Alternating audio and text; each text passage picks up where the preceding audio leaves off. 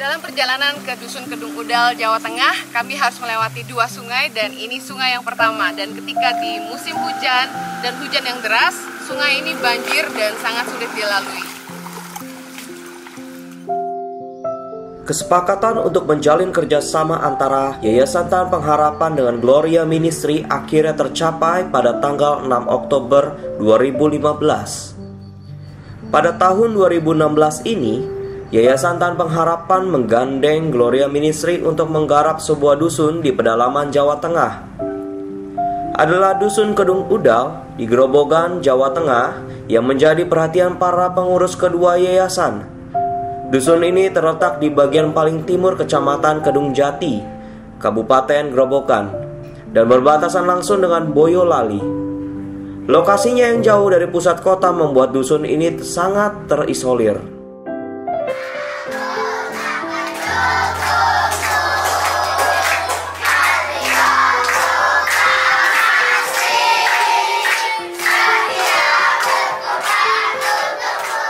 Sarana pendidikan belum ada di tempat ini dan anak-anak umumnya bersekolah di Juwangi, Boyolali. Terima kasih. Jadi kita ingin melihat adik-adik udah udah mulai bersekolah belum? Satu bulan. Gurunya yang mana?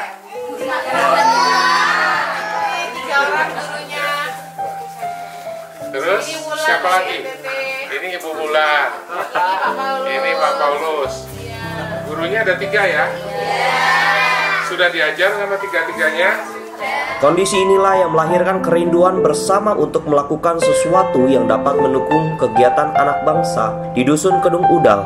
Yayasan Tan Pengharapan bekerja sama dengan Gloria Ministry berencana membangun Feeding and Learning Center untuk anak-anak di dusun tersebut.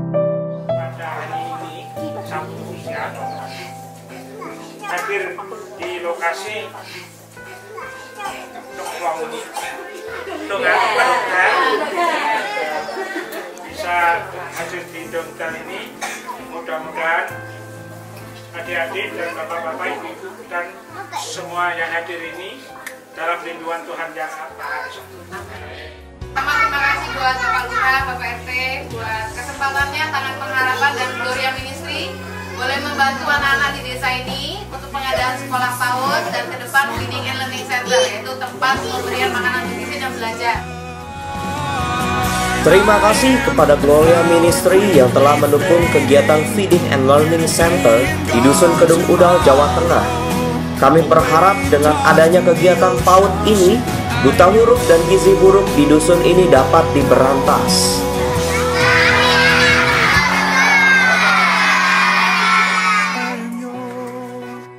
Helping people live a better life.